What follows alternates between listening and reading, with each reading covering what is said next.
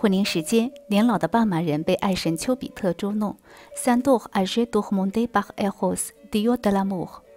这尊作品是古罗马的复制品，创作于大约公元二世纪，现在保存在巴黎卢浮宫博物馆。它的原型可以追溯到公元前二世纪的古希腊。这也是婚龄时间第二十二集关于卢浮宫的节目。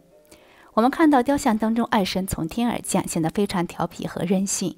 年老的斑马人显然被他捉弄得心烦意乱，这就很像现实生活当中，爱神总是不期而至，让人不知所措吧。